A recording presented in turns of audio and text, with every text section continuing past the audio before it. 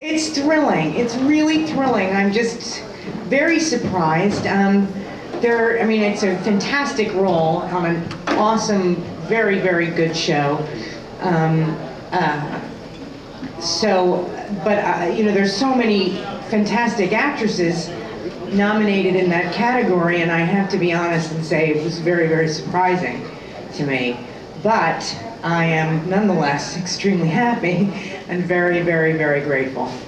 Well, Patti Nyholm, um, out there, I'm not sure. She's very dedicated to her job. She's a very, uh, she's a cutthroat attorney, and a lot of people think she's not very nice, but I happen to like her very much. but I, I, that's only because uh, I think she's just really good at her job, and she's ruthless, and she uh, uh, doesn't take no for an answer, and she intends to win.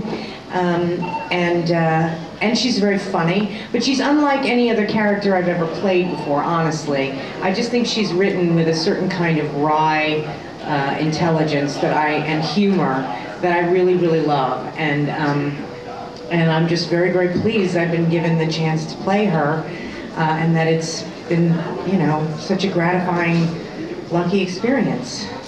Are there plans for her to go back next season? Well, uh, not that I know of at the moment, but I certainly would love it. I hope so. Um, maybe. Um, maybe.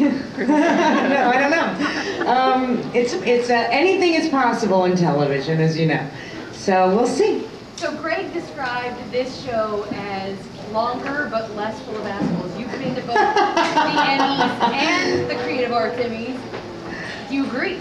Well, Greg's the comedy writer, so I let him, you know, I let him get away with gags like that. Um, I'm not quite as brave as he is, but I will say that it's uh, being at the Creative Emmys is really fantastic because you get an opportunity to spend time with the people who work behind the scenes, who really make the shows what they are.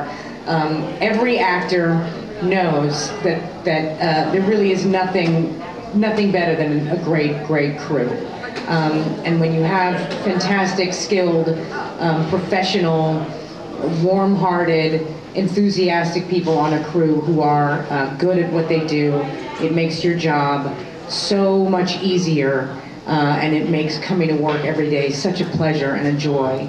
Uh, so it's nice to be able to come out and celebrate, you know, that side of what we do. Um, and uh, so I'm delighted to do it.